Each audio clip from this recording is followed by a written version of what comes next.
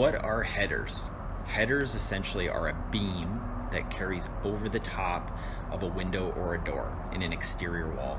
And so the weight that is bearing on the top of it, either a floor or a floor and a roof or just a roof, whatever it may be, it's picking up that weight and it's dispersing it around the window.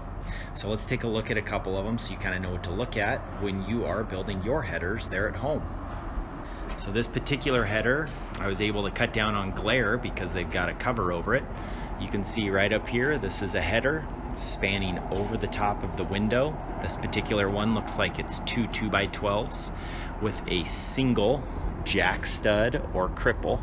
You can see right here, this is just a single. There's not a second one right here, okay? One on either side, and then this right here is called a king stud. So king stud goes all the way up, and it, this particular header has single jack studs on either side with a king stud on either side. That's typical installation. Looks like it has double top plates and it is holding up a roof. Um, if you look over at this particular one, same situation right here.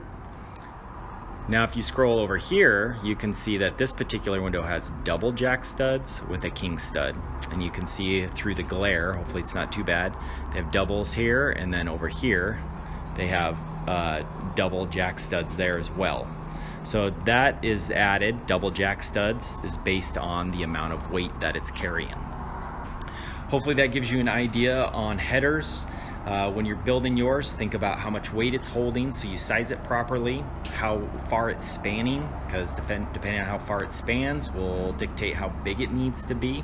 Uh, also, as far as the weight is concerned, but then how many jack studs you put under it.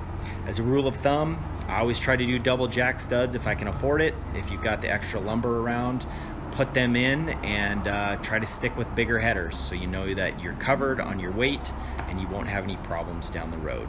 This is uh, Ben with Building Code Tips, and this is your construction countdown on headers.